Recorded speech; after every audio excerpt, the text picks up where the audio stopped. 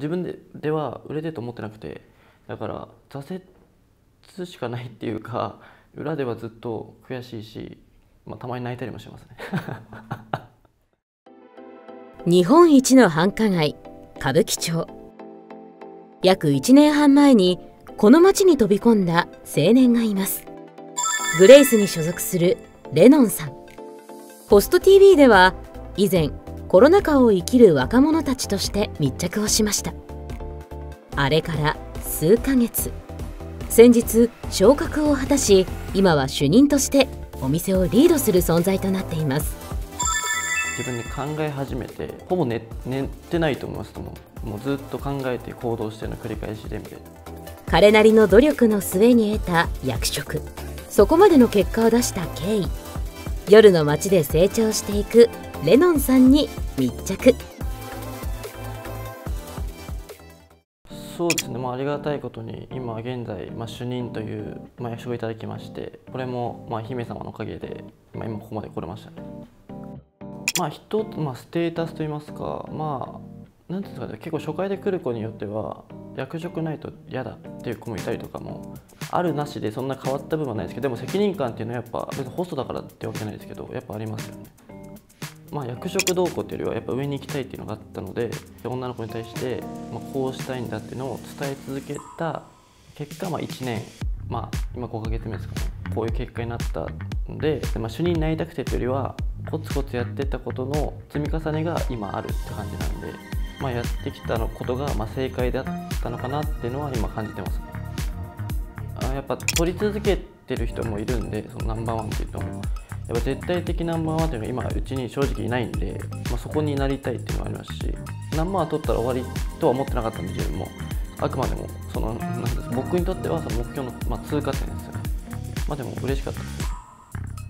ナンバーワンになり主任まで上り詰めたレノンさん。これまでのホスト人生は順調に思えます。最初の、まあ、半年以上はお客さんも、まあいまあ、いましたけど、まあ、売り上げ上がらず掃除抜けもできず悩む時期はありましたけど、まあ、8ヶ月9月ですかね。でちょうどお客さんもちょっと増えたりとか、まあ、いろいろ自分で考え始めてほぼ寝寝てないと思います。けどもうずっと考えて行動しての繰り返しでみたいな、積み重ねて結果的に、まあ、今ですね、最初めっちゃ大変でしたねそれこそ。やっぱ先輩やまあ入ってきた後輩たちの何ですかね、まあ、振る舞い方とか、まあ、自分にないものをどんどん得ていかないと結局自分のだけじゃ足りないものがあってお客さんもついてこないと思ったんでだったらなんか盗めるものを盗んでっていう、まあ、キャラクターがもともとおとなしいっていうのはあったんでそこはまあちょっと崩せなかったんですけど根本的な部分ではやっぱりそういうのを変えていった結果はまあ成功だったかなって感じですね。はいレモンさん的にはやっぱトライアンドエラーの繰り返し。あもうそうそうもうだから多分キャストからしたら特に後輩からしたらあこの人成功してるじゃんって見えたかもしれないですけど裏では結構苦しい思いも結構してます、はい、今年で28になります。はい。入って思ったのはやっぱ早いうちからやりたかったなっていうのは一つありますね。ただ今のホスト業界といいますか結構30代超えてもめちゃくちゃ売れてる人もいますし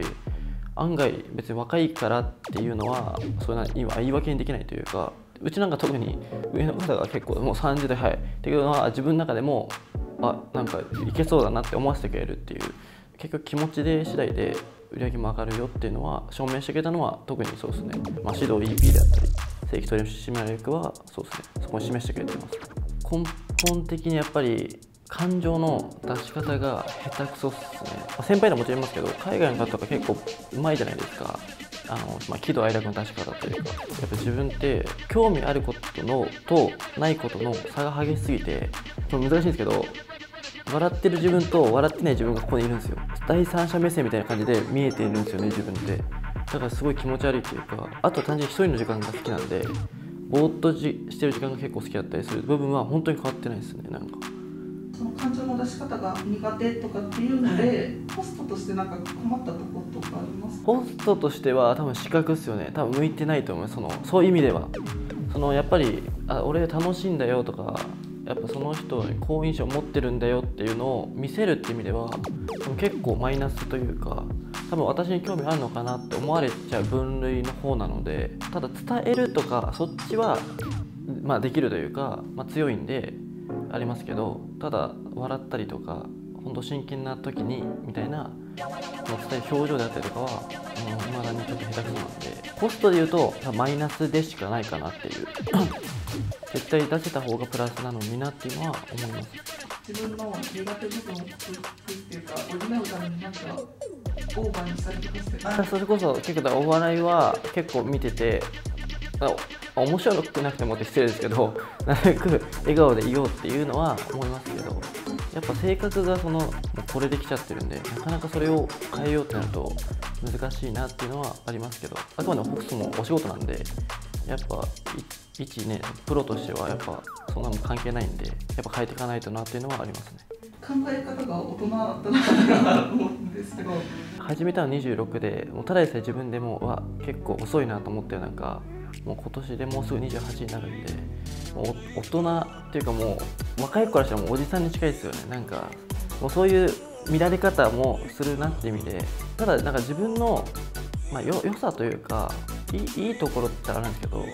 絶対に人のせいにはしないですね。その売れなかったとしても売れたとしてもまあ、どういう環境であろうと、まあ、自分で選んだのが、まあ、このグレ今のグレイスですし、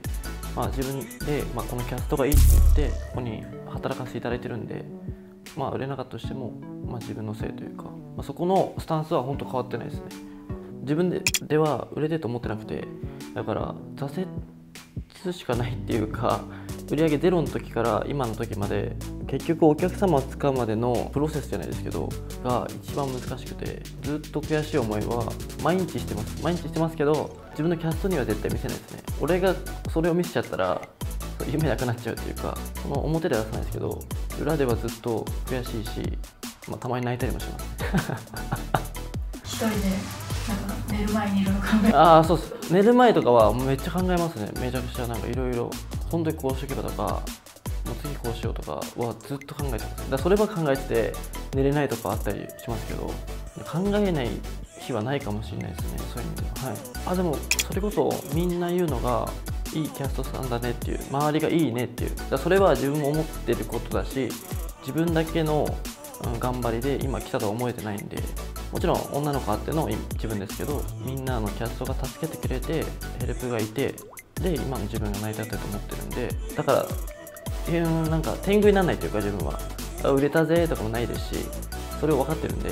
うん、どこまで経っても、まあ、定姿勢というか変わんないと思いますそこは。はい。とっても謙虚なレノンさん。今後彼が見据えることとは？まあまあ、結構前のホストさんで月に1000万売り上げたりとか年間でいうと1億売り上げてる人が結構もうざらに出てきてるというか1000万って当たり前な結構感覚でポンポンポンポン出てるんで、まあ、少なくとも僕もそっちの、ま、ルートといいますかそっち側にいたいなっていうのはありますよね。30歳でも全然できるよっていうとこを、まあ、これから入ってくる子たちにおおっさんでも売れるんだっていうホストは年齢じゃないよっていうのは見せたいっていうのはありますけど。レノンさんが売れることでグレイスっていうお店自体もどんどんエアグループの上の方に。あ僕はそれを、ね、狙ってるというか思ってます。その僕が売れれば、まあ、グレイスの下の子たちがついてきてくれて、まあ、グループとしても上がっていけたらなっていうのは思ってますよねあ、まあ、若干、まあ、僕よりは増えたので、まあ、使える額が増えたって意味でまあ昼食以上には使ってるとは思うんですけど